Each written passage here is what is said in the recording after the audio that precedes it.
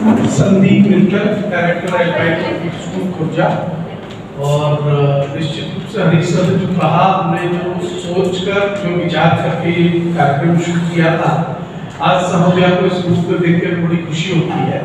क्योंकि मेरे गुरुदेव कहा करते थे कि प्रभु ने मनुष्य को बनाया, मनुष्य ने समाज बनाया।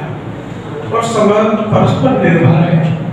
तो अगर हम एक दूसरे के साथ मिलकर काम करते हैं निश्चित रूप से किसी भी समस्या से निकलने में उसके समाधान करने में हमको आसानी होती है। और ये शायद हम काफ़ी समय से देख भी रहे। जितने सारे सरकार के तरफ़ से बहुत सारे ऑर्डर्स आए स्टेट गवर्नमेंट की इंटरवेंशन हुई डे टू डे में बहुत सारी समस्याएँ हमारी आती है। तो अब कम से कम हम लोगों को लगता है कि एक हैं और इस समस्या को भी समाधान कर लेंगे तो निश्चित रूप से अच्छा प्रयास है और सब में मैं आप सभी का जो नए लोग जुड़े हैं उनका स्वागत करता हूँ।